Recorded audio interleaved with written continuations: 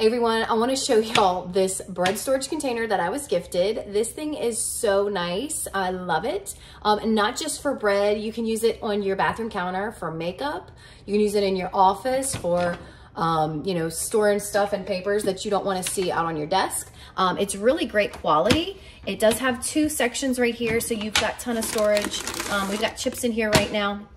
And usually we can fit two loaves of bread and some tortillas and some other stuff. It is double layer bamboo. It's got the windows right here. And then it also has um, the windows on this side, both sides. So you can see.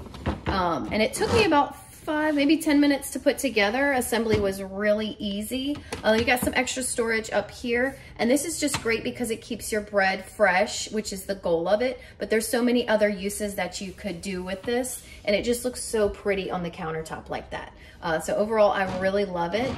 And um, this is so beautiful and I definitely would recommend it.